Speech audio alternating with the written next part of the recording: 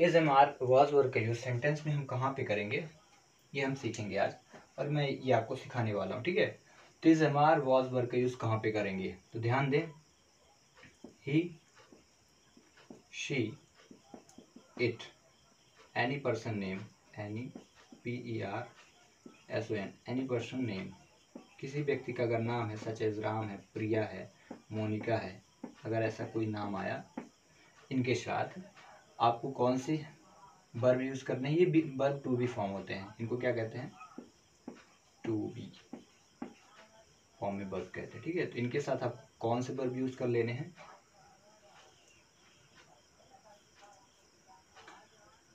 Is और was ठीक है? मतलब he is she was it was और any person in Ram was Priya was ठीक है? आपको कन्फर्म समझ में आ गया? He is he is she is और एक यहीं पे यूज़ करने वाले हैं singular subject singular subject subject जैसे हो गया बॉय ठीक है? ये. इनके साथ सभी के साथ आपको इज़ और वॉज़ का ही यूज़ करना है. She is it is Ram is and boys ये ऐसे ही ही was she was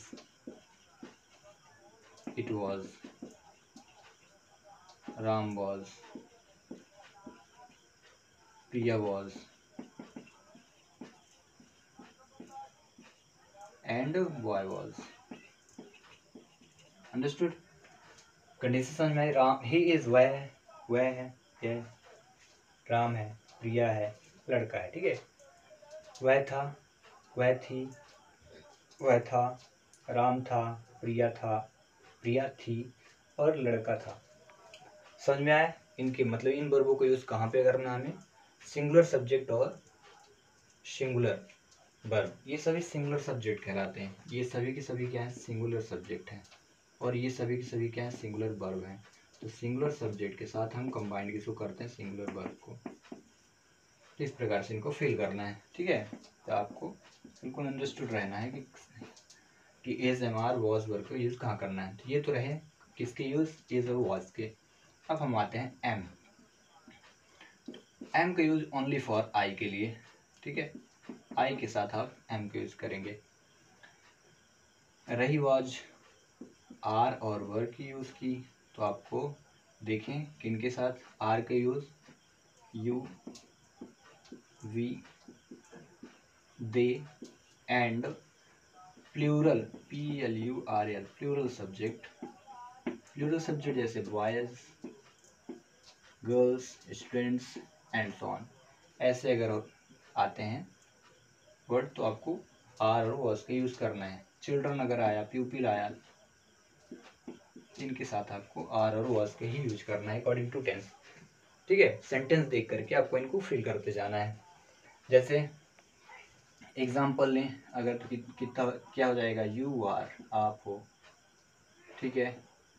We were we are we are हम हैं। ठीक है? दे आर वे हैं। दे आर वे हैं। ठीक है? ऐसे ही अगर वर्ग के साथ यूज़ करना है वर्ग के साथ। तो यू वर, आप थे। वी वर, हम थे। देवर वे थे। ठीक है? ये रहे। एंड कोई प्लूरल सब्जेक्ट ले रहे हैं तो बॉयज़ वर लड़के थे। ठीक है? इस प्रकार से हम इज़ हम और वॉज़ वर्ग का यूज़ सेंटेंस के सब्जेक्ट के अकॉर्डिंग करते हैं। कहने का मतलब singular subject singular verb and also we want to use plural subject P L U R L plural subject plus plural verb P L U R L plural verb this is the first rule of subject verb agreement subject verb agreement का जो पहला rule होता है, यही होता है कि singular subject के साथ सिंगुलर वर्ब को यूज़ करिए. And also you want to use plural subject with plural verb तो इस प्रकार से इस एम का जो करेक्ट यूज़ होता है, इसी प्रकार से किया जाता है, ठीक है? तो चलिए आई होप कि आपको पूरा समझ में आ गया आ गया होगा। देन लेते हैं कुछ example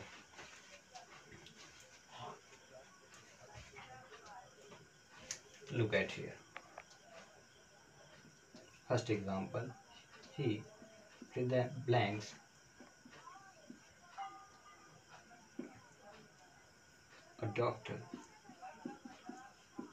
आपके पास ऑप्शन है is am and are which will be came here यहाँ पे कौन आएगा? Which is the correct option then we want to use he with which is is because he is he के साथ क्या यूज़ होता है?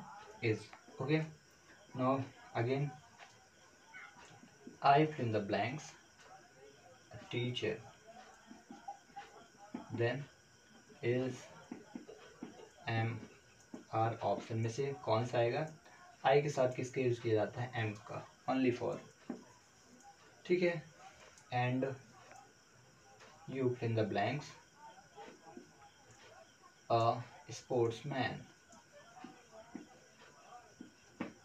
ठीक है? इनमें से मैंने ऑप्शन लिया वॉज़ एंड वर्क तो कौन सा ऑप्शन सही होगा? You fill the blanks a sportsman तो यू के साथ हम किस किस वर्ब को लेते हैं?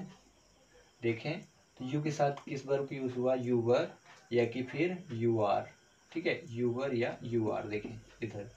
तो हम इनमें से वॉज़ और वर्ब में से किसको सेलेक्ट करेंगे? वर्ब तो you were sportsman then I hope कि आपको समझ में आ गया होगा इस एम आर का करेक्ट यूज़ तो चलिए मैं कुछ आपको देता हूँ एग्ज़ाम्पल आप उनको करें। Complete the sentence with am is are question number first he fill the blanks a chess player and the question other question they fill the blanks nice nice. Third you have the house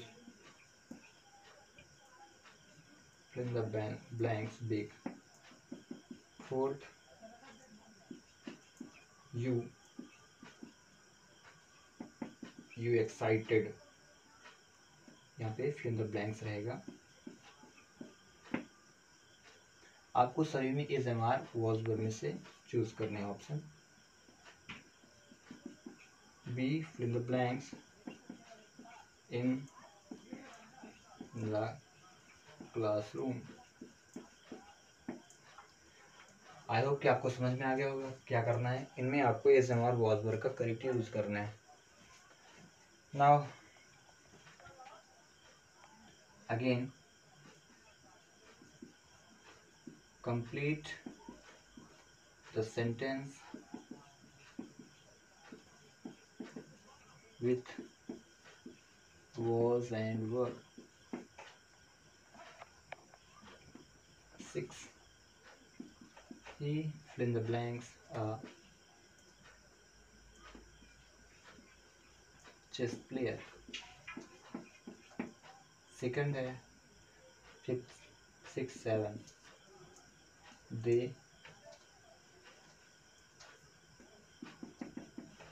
be in the blanks. Nice. Eight number.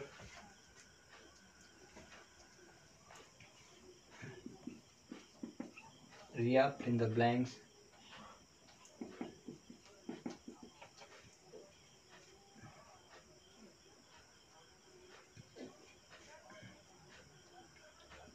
Excited to play cricket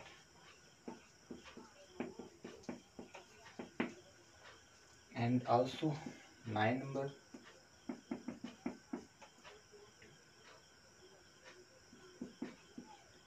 The horse in the blanks.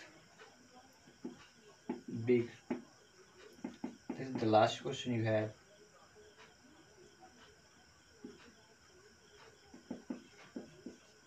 Boys fill in the blanks. In the classroom. Okay? तो आपको क्या करना है? एक से पाँच तक में एज हमारा वॉज़ वर्क को फिल करना है एंड छः से लेके दस दस तक के जो भी ब्लैंक्स उनमें आपको वॉज़ वर्क यूज़ करके कंप्लीट करना है। और आफ्टर यूजिंग यूज़ करने के बाद आपको कमेंट्स बॉक्स पे इनके आंसर सेंड करने हैं। So till thanks for